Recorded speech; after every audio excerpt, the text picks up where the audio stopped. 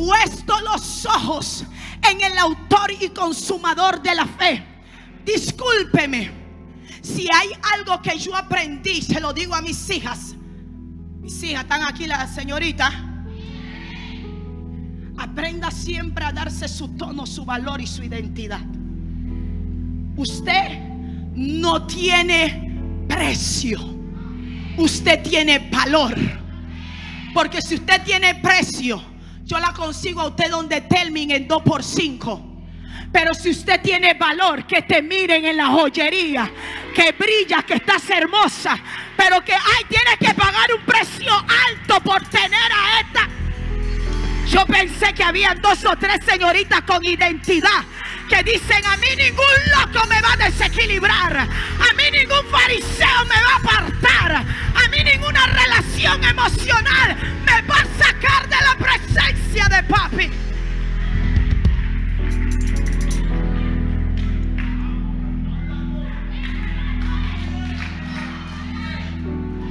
Mira a alguien y dile equilibrio espiritual. Equilibrio espiritual. ¿Cómo yo mantengo, pastora, mi equilibrio espiritual? Cuando yo vivo en una oración ferviente.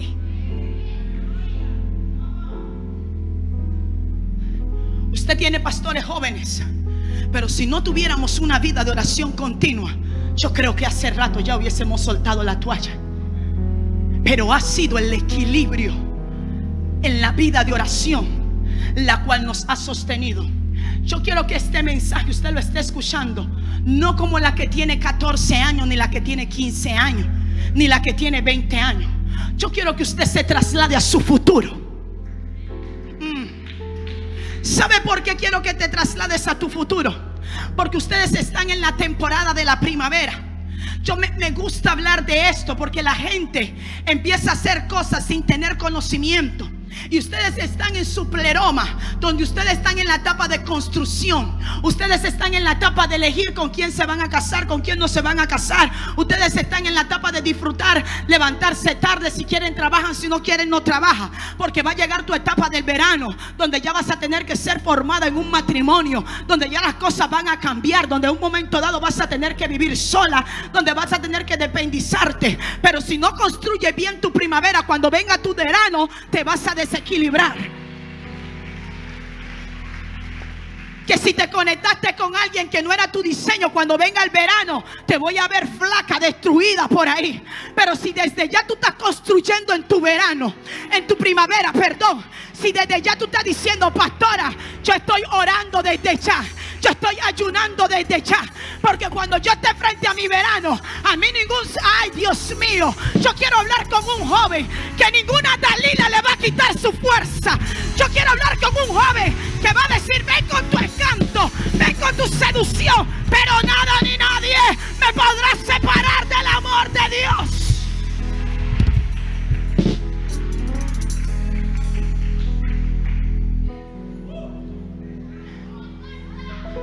Y es por eso que eso me llevó a otra frase.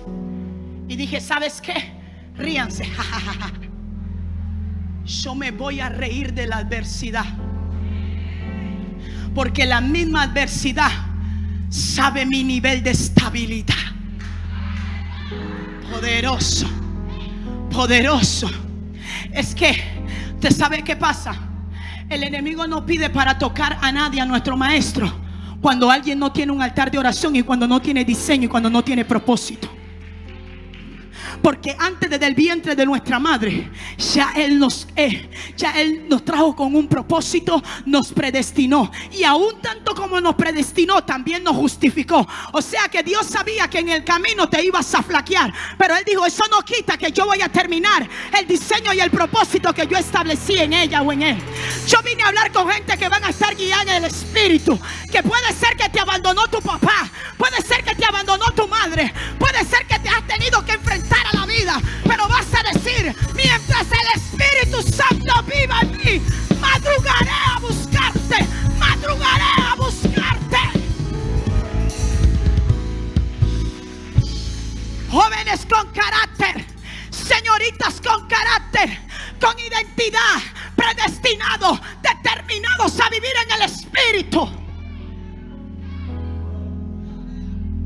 Me gusta porque cuando fue tocado, Jod, Jod dijo las siguientes palabras. Es que Dios conocía a Dios de una manera natural. Aquel que protegía a su familia, aquel que protegía a su ganado, aquel que estaba con él porque era reto, temeroso, apartado del mal. Pero no conocía al Dios que también te iba a quitar la estabilidad para probar tu ay, para probar tu nivel de estabilidad. Y quizás la esposa, sí que ten cuidado con quien te unes. Y aunque la bendita esposa de Jod quiso hacer que el hombre se desviara, maldice a tu Dios y muerte.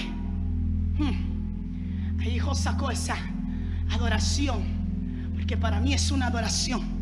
De oídas te había oído, mas ahora mis ojos te ven.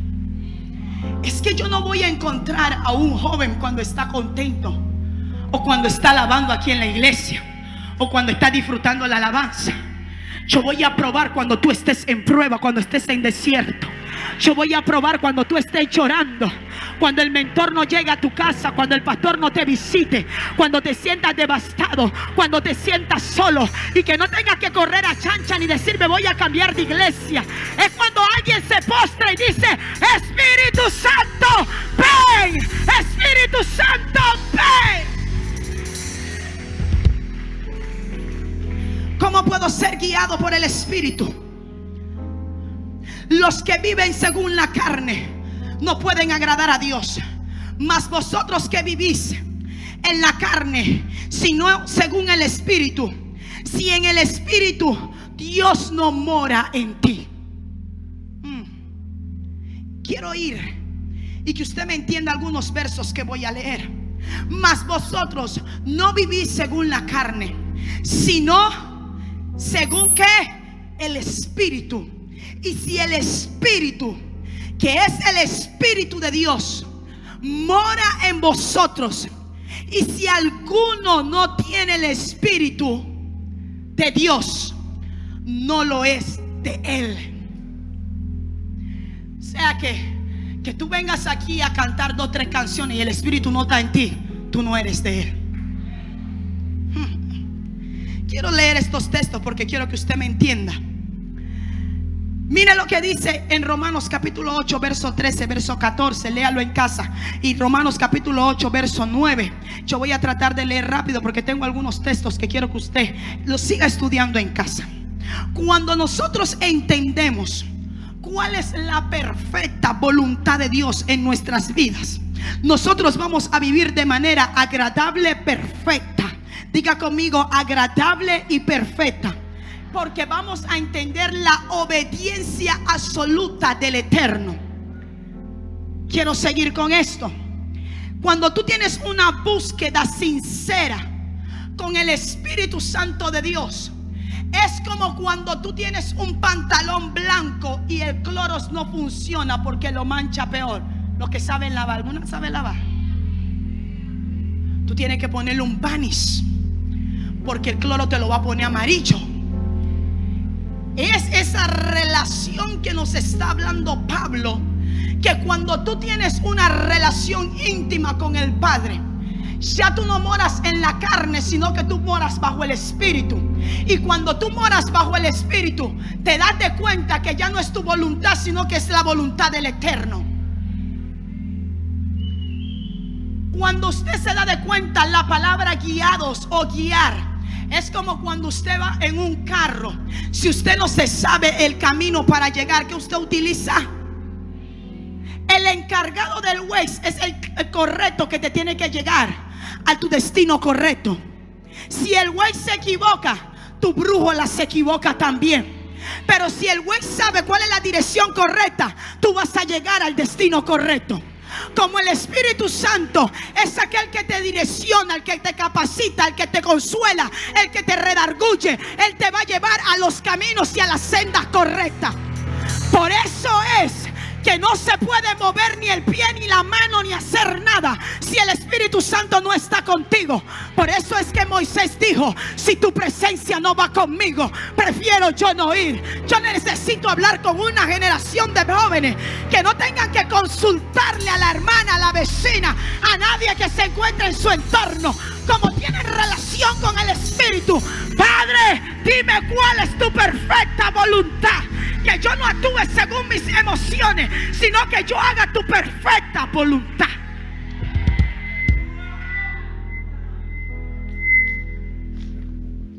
Cuando tú eres guiado por el Espíritu, tú entiendes que tu elección es correcta y que tienes seguridad y tienes garantía que el camino que estás yendo te va a llevar por la senda de justicia.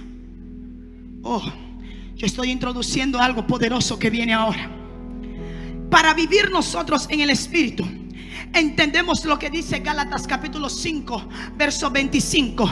Si vivimos por el Espíritu, andamos en el Espíritu. Ahora quiero darme a entender algo poderoso y muy importante. No es lo mismo vivir en el Espíritu y andar en el Espíritu.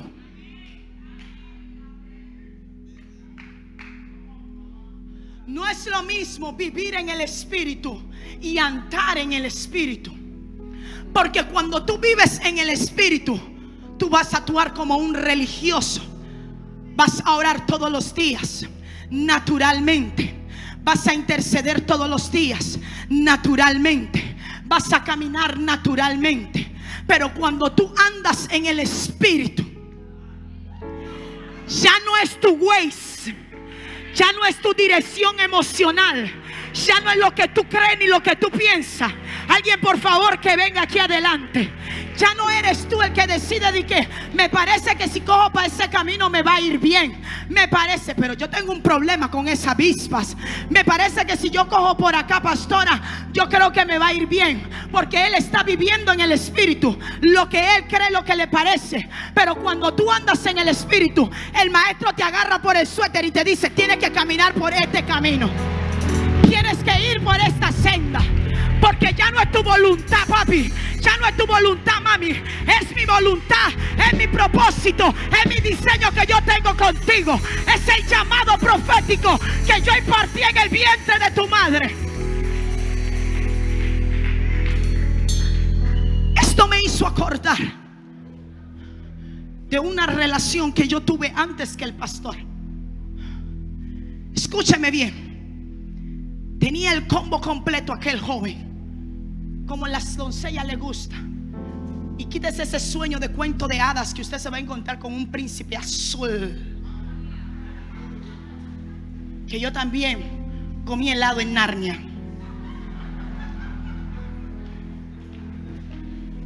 ¿Sí? Comí helado en Narnia. En Narnia, yo. Solo los entendidos entienden. Lo del wifi lento súbele tres rayitas. Óigame. Y recuerdo que todo iba bien en esa relación. Estábamos en la iglesia. Él era medio cristiano. Yo no creo en eso que usted convierta a un joven para usted. Que se convierta solo. Y después que tú ves los frutos, tú anda y ve.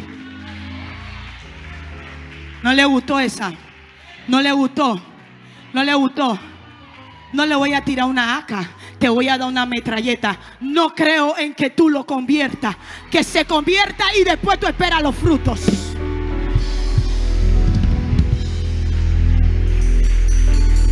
Porque si vives en el Espíritu, lo vas a elegir por tu emoción. Pero si andas en el Espíritu, aunque se ve codicioso, no es. Aunque se ve atractivo, no es. Y yo prefiero perderlos a todos, pero que no se aparte de mí su Santo Espíritu. Que no se aparte de mí su Santo Espíritu. Y yo recuerdo que tenía el príncipe azul. Atención, dedicación, A mí en esos tiempos me encantaban los chocolates. Yo probé todos los chocolates habidos y por haber. Me traía, a mí me encantan los girasoles. Girasoles para aquí, girasoles para allá. Y yo veía que todo era como muy bonito. Y cuando todo es muy bonito,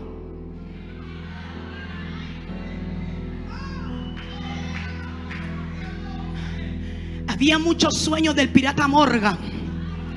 Esos sueños que después solamente quieren tu lujo, solo quieren tu plata.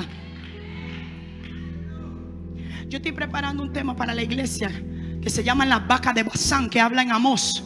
Mi madre Dios. La gente saqueadora. La gente que no está por contigo porque te ama, sino por lo que tú portas. ¿Cuánta gente se ha perdido en la brújula de su ministerio porque se unió a una vaca de Bazán. Abortó su ministerio. Está viviendo en esclavitud con alguien por emoción, pero no por el espíritu. Yo veía todo muy light, muy amoroso, muy... Pero yo decía, pero vamos para el cine vamos para aquí, vamos para allá y vamos para todo lado. Y todo daba como que muy light, ¿tú me entiendes? Cuando ya pasaron los meses, es que yo no he tenido Ingrid nunca novia. Yo he tenido mujer y yo, ¿y el anillo para cuándo? Sí, es que la mujer, las doncellas tienen que, mira, que no se miren abajo, montense bien en alto, que te miren desde arriba. Y en ese instante, el Espíritu de Dios me tomó. No me habló mi hermana, no me habló mi pastor, porque era hijo del pastor, sobrino del pastor. Y todo estaba muy bonito. En mi baño me acuerdo como que si fuera hoy. Yo estaba vestida para ir para un culto. Ustedes saben, en esos tiempos uno se vestía como los rabacucu, con una manga larga verde, una falda verde con negro. Y yo estaba con unos tacones, tú sabes esos tacones, el tiempo de mi aupa. Y yo estaba arreglándome. Y así mismo el Espíritu Santo de Dios me tomó. Me sentí presa. Me sentí cautiva. Me sentía como David, que mi alma estaba encarcelada. No estaba, yo estaba congregando, pero el mismo Espíritu de Dios me dijo, Ingrid, quiero hacer cosas grandes contigo. Y Él no está alineado a tu propósito. Que se despierte una doncella que oiga la voz de Dios y no la voz de sus emociones. Siéntese que le voy a dar el combo completo para que usted aprenda a elegir. Que no es los ojos gateados. No es el blanco que usted quiera hacer la combinación. Para que le salga cholo.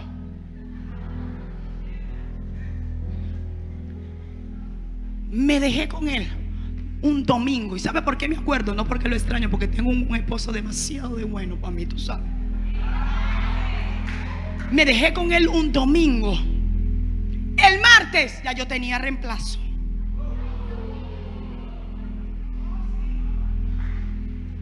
A los 15 días, ¿sabe con quién se metió ese joven? Con la joven de intercesión de la iglesia. Te estoy hablando de una joven que tenía más ministerio, identidad. ¿Qué te puedo decir de esa muchacha? Que todos los lunes que había intercesión en la iglesia, a esa muchacha había que quitarle el micrófono porque no sabía cuándo era que tenía que parar. Del fluir de la oración y de la intercesión que tenía. Te estoy hablando de una joven que era líder de señoritas como de 15 señoritas, que todas eran firmes, que todas eran intercesoras, que tenía un carácter impresionante, pero se unió con una vaca de Bazán. A los 15 días ya había boda. Acababa de rematar, mi hermana era la madrina. Y la celebración fue en el parque de casa. Y yo, ¿y qué es esto? Pero este hombre nunca me amó. Porque eran unas canciones dedicatorias hasta fuera de la iglesia. Un pato con Dios hicimos tú y todas esas cosas. Una curs, cosas cursi que nos gusta. Pero no son estables. Tenía finanzas, pero no había estabilidad espiritual. Pasó un mes y me enteré por qué se casaron. Ya estaba preñada, embarazada. Pasaron tres meses y en el kiosco de mi papá yo haciendo mis batidos.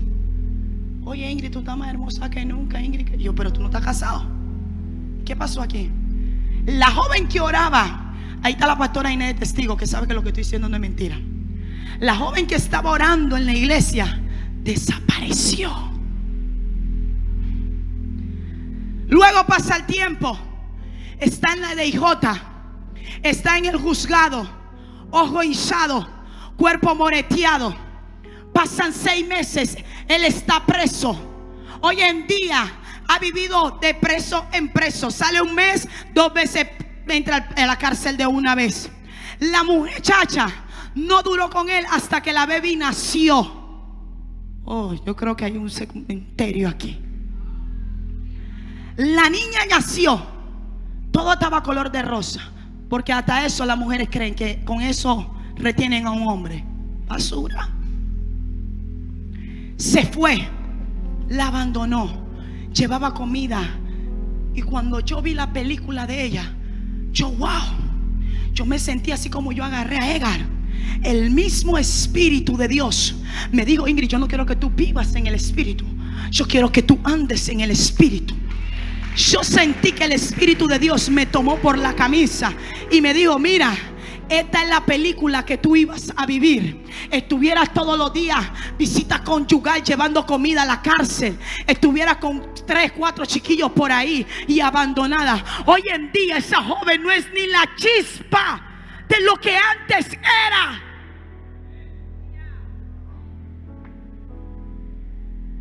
Yo no estuviera aquí estuviera en otro lado. Por eso es que cuando usted conoce que es vivir en el Espíritu y andar en el Espíritu, usted no se mueve según lo que quiere su alma, las decisiones de su alma ni lo que usted necesita. Usted va a andar según la voluntad de Dios porque Él conoce tus caminos mejor que tú. Y Él sabe para qué te llamó para este tiempo.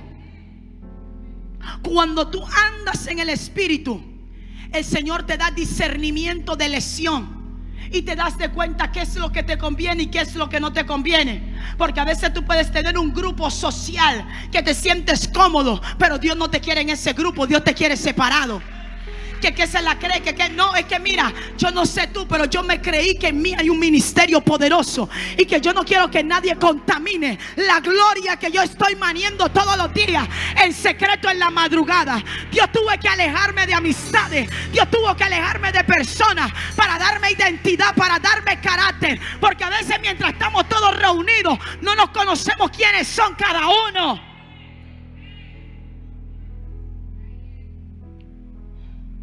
Quiero leer este verso. Dice, pero cuando venga el Espíritu de verdad, el que nos guiará por toda verdad, porque no habrá por nuestra propia cuenta, no hablará por nuestra propia cuenta, sino que hablará lo que oyere.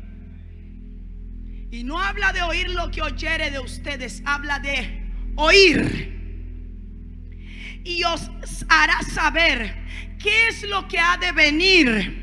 El que glorifique su alma, porque tomará al mío y lo hará saber mis secretos. Esta es otra versión. Juan 16, capítulo 13, verso 14. Léalo en su casa. Porque cuando viene el Espíritu de verdad, te hace confrontar cuál es el diseño, cuál es el propósito que yo tengo contigo. Una de las cosas que usted tiene que entender para ser guiado por el Espíritu, que usted tiene que saber, quiero que usted escriba estos textos bíblicos. Salmos capítulo 32, verso 8 dice, te haré entender y te enseñaré el camino en el cual debes de andar. Sobre ti fijaré mis ojos.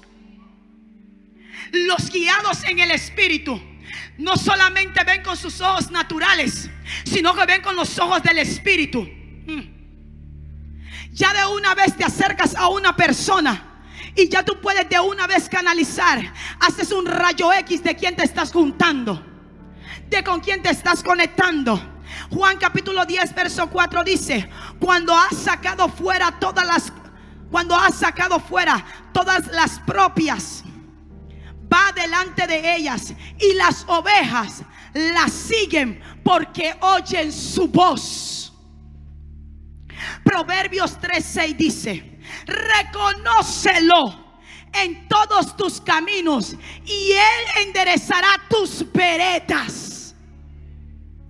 Solo el que vive guiado en el Espíritu entiende los, mandamientos, entiende los preceptos por la cual el Señor lo ha llamado para este tiempo. ¿Está aquí conmigo? ¿Está aquí conmigo? Yo quiero que usted entienda esto, porque cuando yo estaba en mi recámara mientras estaba orando, y quiero ir rápidamente a decirle lo que el Señor me mandó, todo esto era simple una introducción para poder hablarle a su espíritu y que usted pueda entender lo que Dios está levantando sobre esta generación. Y mientras yo estaba en casa y el Señor me decía, mira, tú vas a entrar, y así mismo como ustedes estaban, el mismo silbado apacible, la misma adoración donde estaba, yo decía, yo entré a la cueva de Adulán, pero no entendía lo que estaba sucediendo en el espíritu. Y cuando yo estaba ahí viendo, el Señor me decía, mira Ingrid, no le vayas a hablar a los jóvenes como que a Gugaga, que mira que no, háblale con autoridad y hazle entender su pacto, porque ellos no son las mujeres encorvadas que no sabían que su padre Abraham tenía promesa y que ella tenía que haber sido liberada desde hace tiempo, porque la encorvada no sabía que ya Abraham había sido bendito por todas las generaciones, no tenía derecho a estar encorvada, tenía que estar libre. ¿Pero por qué? Porque no sabía su derecho, porque no sabía su pacto, porque no sabía su promesa. Cuando tú estás en el Espíritu, tú entiendes que tú eres un joven de pacto, tú entiendes que tú tienes carácter, que tú tienes identidad, que hay un potencial en tu vientre, que alguien está esperando una palabra de aliento, una palabra de de nuevo. Escucha a sí mismo. Quiero entrar rápidamente a esto. Yo decía, y el Señor me decía, Singri, en la cueva de Aludán no solamente estaban los enlutados, los endeudados y los que estaban afligidos. En la cueva de Adulán estaban los verdaderos profetas. Ahora, en el tiempo de antes, cuando escogían los profetas, no era disque bueno, era hereditario. Dije, bueno, la mamá Ingrid es profeta, tú eres profeta. No, en el tiempo de antes, los profetas eran escogidos. No es como ahora que todo Colón se está ungiendo como profeta porque está viendo que el profético está trayendo ensanchamiento. ¿Está aquí? Según la tribu de Leví, todos los que venían de Leví venían de un sacerdocio. Así que por ende, todos tenían que ser sacerdotes. ¿Está aquí?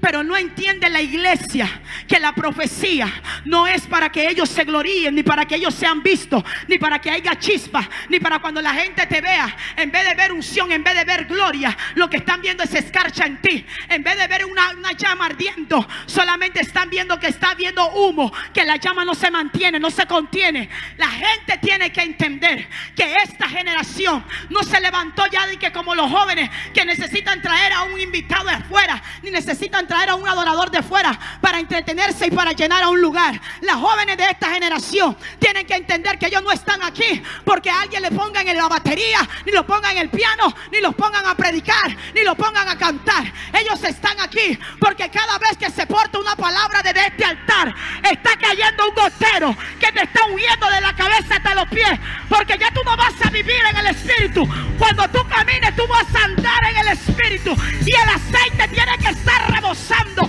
La unción tiene que estar rebosando. Que cuando quieran conectarse a ti, no puedan. Porque hay una gloria que tú portas que no puede ser contaminada.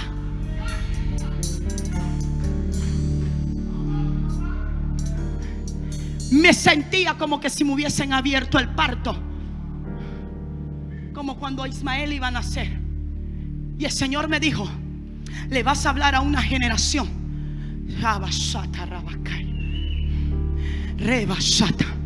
Que van a andar en el Espíritu.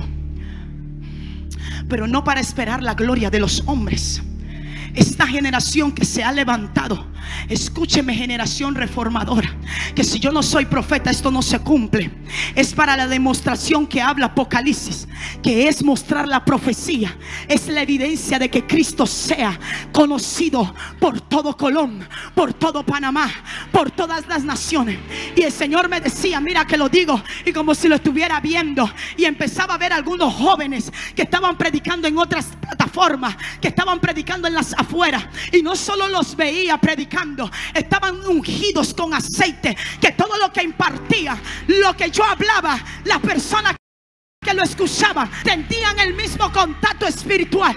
Yo quiero hablarle a una generación que va a entender que ellos son profetas, Naví. ¿Sabe quién es el Naví? Aquel que escucha la voz de Dios y habla lo que Dios habla aquí en la tierra. ¿Sabe cuál es el profeta Naví? Aquel que tiene los pensamientos de Dios aquí en su mente y solamente escuchan, solamente jalan. Y el Señor está hablando porque voy a hacer esto en América, voy a hacer esto en Chile, voy a hacer esto en Jamaica. Y ellos están conectados y hay profetas Yo no sé si usted me está escuchando. Se acabó el tiempo de las generaciones adultas que solamente ellos son los que están profetizando. Mira, y Dios me trae a memoria. Dios me trae a memoria esto. Mientras yo estaba viendo esa visión, yo me acuerdo lo que el pastor le estaba predicando ayer, que les estaba diciendo que ese día él predicó y que algo los levantó de abajo hacia arriba y lo dejó tirado en el altar. ¿Ustedes escucharon cuando el pastor estaba hablando eso? Ese día, quédese así por favor. Ese día, cuando el pastor estaba predicando, ustedes saben, no es porque uno, cuando el Espíritu te toca, te toca. Ese día yo corrí por toda la iglesia, grité, todo el mundo estaba, ¿qué le pasó a Ingrid? Yo me vi en una visión donde yo veía que él estaba en un tornado y estaba pequeño, pero cuando estaba en el tornado, le tiraban cosas, le tiraban flechas para que él no saliera del tornado. Pero entre más cosas le tiraba, se ponía más grande y él salía del tornado. Y cuando Dios me pone a ver esto, el Señor me dijo estas siguientes palabras. Y es lo que ha pasado de generación en generación. ¿Qué ha pasado, pastora? Jóvenes que se unen a una persona incorrecta se apartan. Y tú te preguntas, pero ¿qué pasó con la unción? ¿Qué pasó con lo que portaban? Y sueltan el ministerio por cualquier placer. Y el Señor me dijo, Ingrid, tú no vas a levantar una generación de jóvenes emocionales, sino de jóvenes que van a andar en el espíritu. Que cuando hay charababasaya, rebequeya, rebasaya, rebequeya, que van a identificar quién es Dalila, que van a identificar quién es la que le quiere quitar la fuerza. Ay, Dios mío, yo creo que cuando tú sabes lo que tú portas adentro, tú vas a estar a la defensiva. ¿Quién es el que quiere conspirar contra mi Dios? ¿Quién es el que quiere hablar de mi Dios? ¿Quién es el que quiere hacer algo en contra de mí? Pues te tengo noticia. Todo aquel que conspire contra ti, lo hará sin Dios. Todo aquel que conspire contra ti, lo hará sin Dios.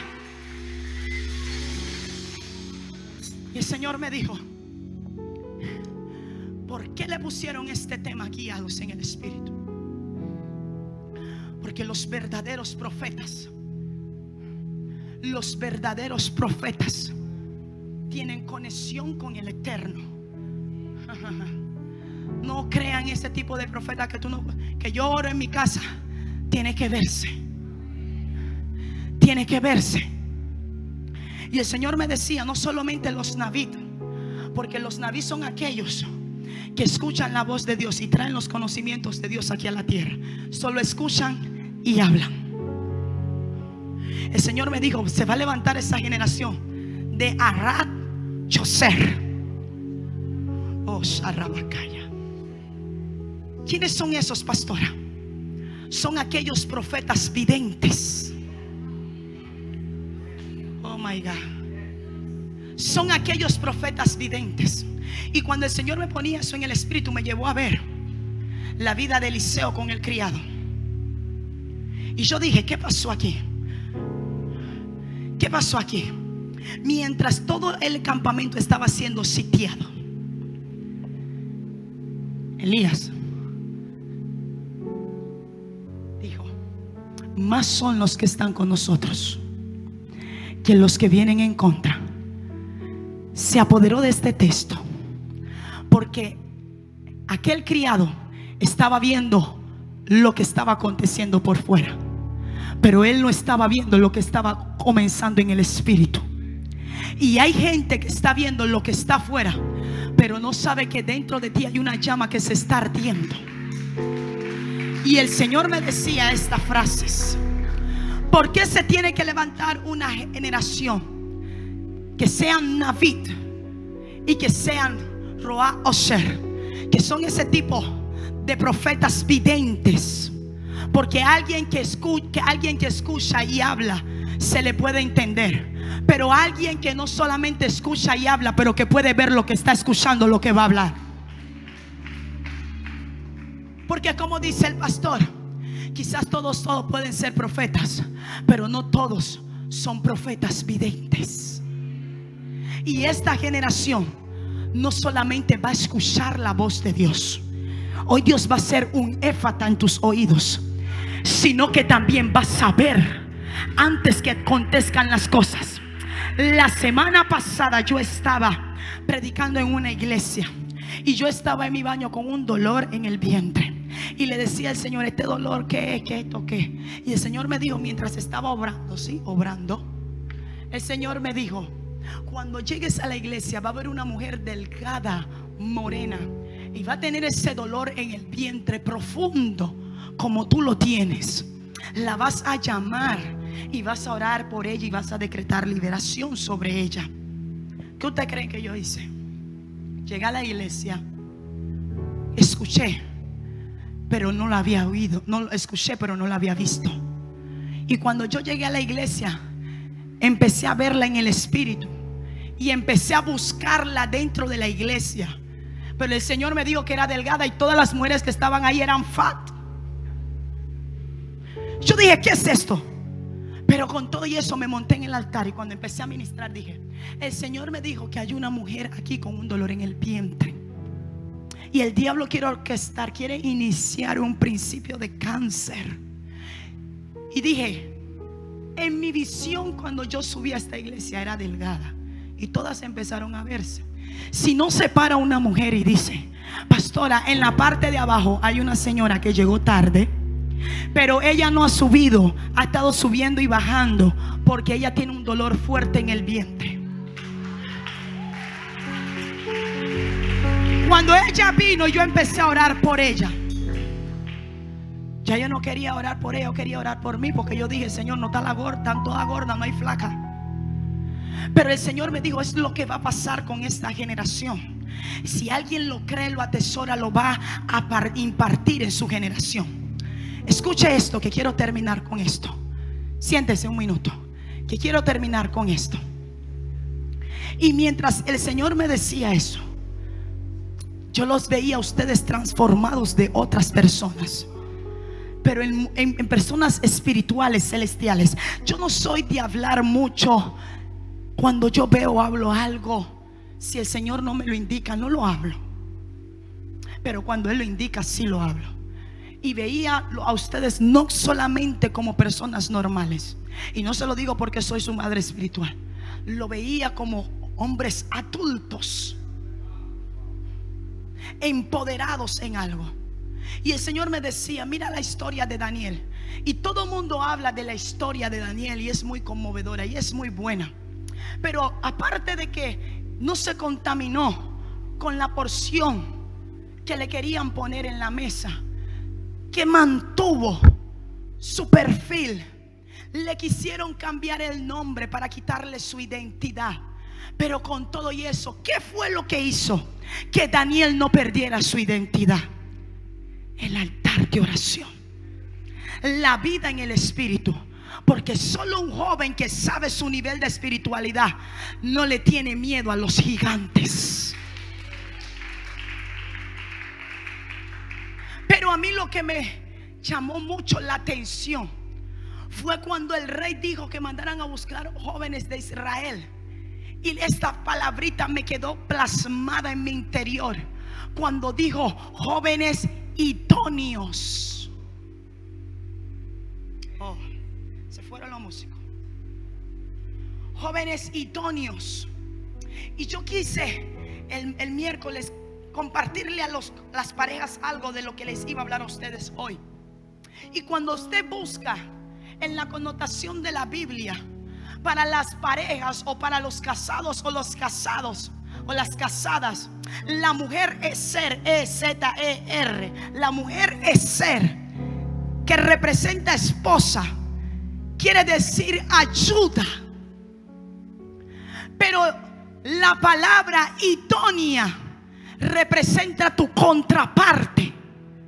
Aquella persona que te hace la guerra para volverte a tu posición original. Ahora, idónea no quiere decir aquella persona que te va a llevar la contra, que te va a llevar a un mal camino. Idónea quiere decir que cuando el esposo quiera desviarse, la mujer idónea es la que le va a decir cuál es la brújula correcta. Y aunque él se quiera descarrilar para un lado, ella lo va a traer y le va a decir, papi, eso no fue lo que Dios me mostró. Tu camino es por aquí. Y cuando el Señor me trajo eso, yo dije, palabra, idóneos, jóvenes idóneos, son aquellos que van a hacer a los jóvenes de afuera volverse a su estado original son aquellos que los caminos que le han sido incorrectos lo van a poner en su camino correcto. Son aquellos que van a enderezar mesa en presencia de sus angustiadores.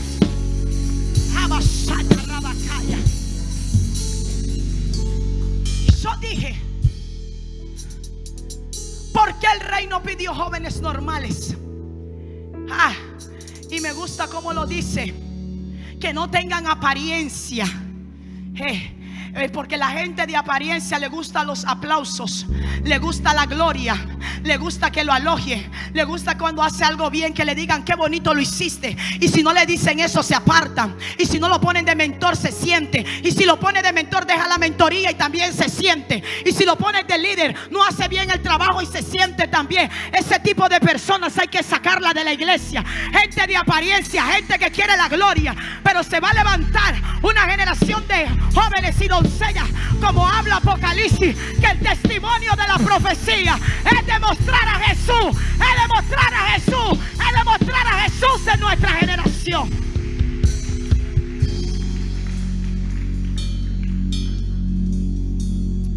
Cuando yo veía esto,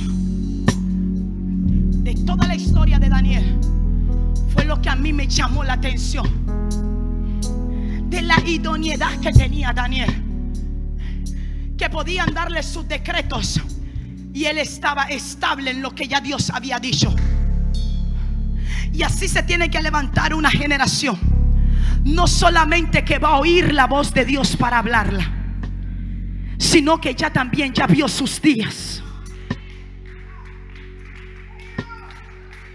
Pastora, que yo tengo gotera en mi casa que yo no tengo familia en Estados Unidos, que yo no tengo, que yo no tengo, que yo no tengo. Ese es tu problema, pero lo que yo estoy viendo no se compara con la gloria venidera. Oye, que esta leve tribulación está causando en mí un cada vez más peso de gloria. Mira el que está a tu lado y dile, te van a mandar a llamar, te van a mandar a llamar para ser probado por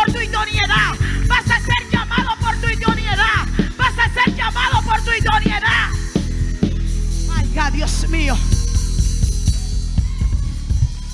Mira a alguien y dile, jóvenes idóneos, que no se van a rendir frente a los ataques. Jóvenes idóneos que van a dejar a aquella mujer de Potifar con la ropa en sus manos. Que no se van a contaminar. Que van a decir santidad Jehová. Santidad Jehová. Santidad Jehová. Santidad Jehová. El que me quiere que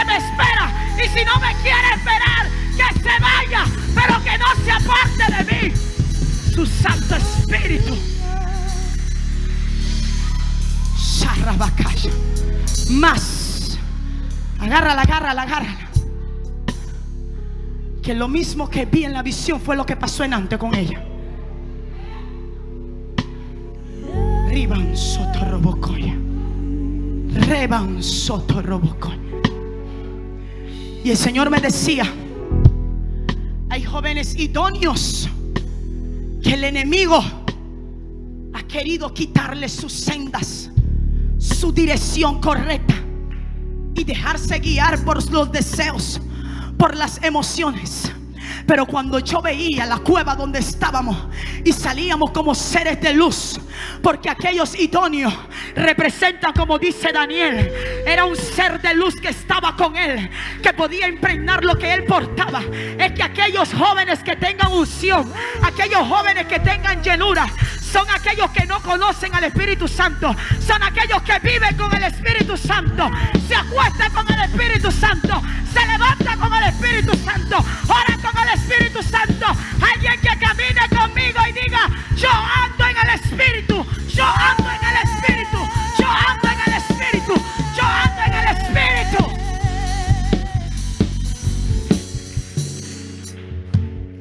Póngase de pie.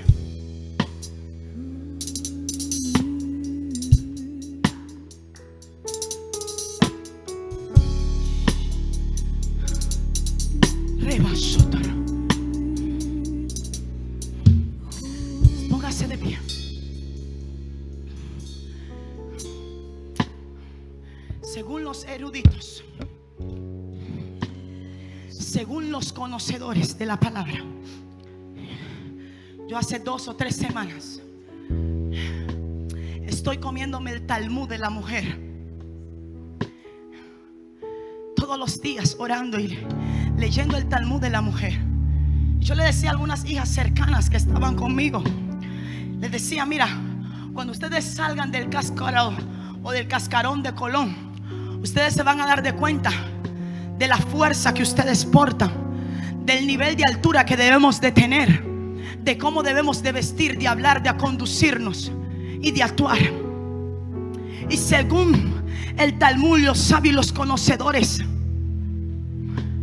dicen que cuando Abraham quería escoger a su esposa, él no quería a Sara, él quería a la hermana de Sara. ¿Y sabes por qué quería a la hermana de Sara?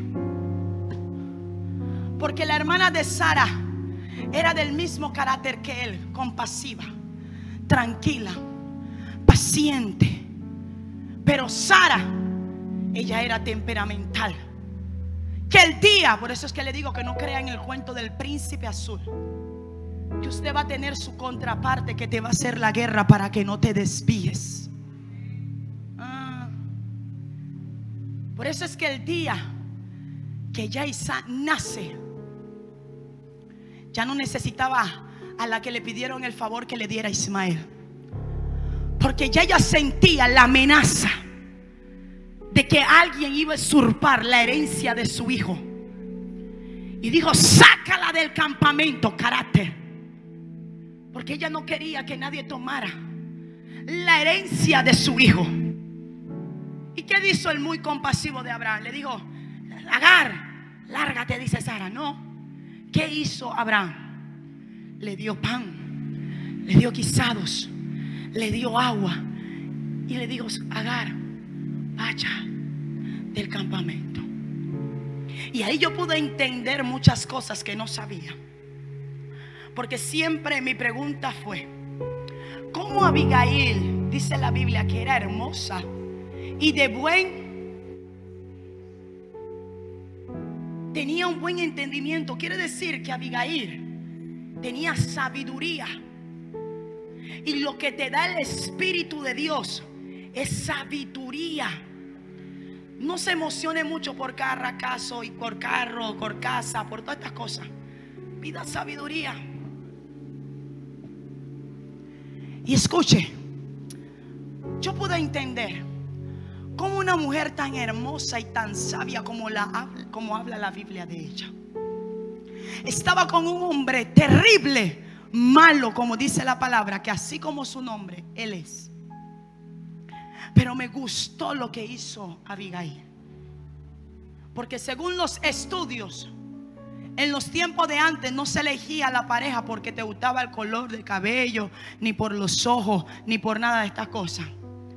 Te unían con alguien que tenía tu propósito, que hacía alianza con tu propósito.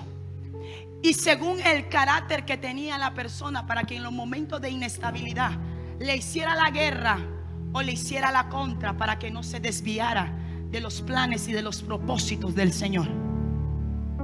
Entonces yo dije, ahora entiendo cómo ella se casó con este hombre.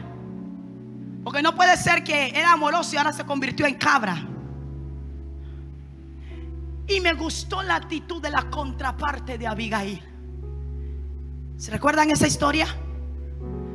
Dice la Biblia que cuando David y sus hombres iban a matar a Nabal, ella no fue para donde su esposo y le dijo, te van a matar. Vienen a perseguirte porque no le diste de comer a David y a sus hombres. Dice la Biblia que ella se fue por un lugar secreto y llevó los guisados,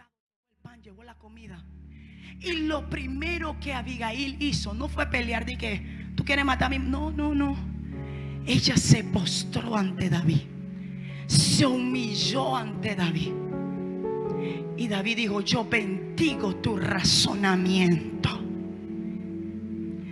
Y ella impidió la muerte de alguien malo para hallar favor delante de Dios. Esta generación no va a esperar que si yo hice algo por Obé, que Obé me dé las gracias. Yo lo que estoy haciendo no es para Obé, lo estoy haciendo para que el nombre del Señor sea glorificado.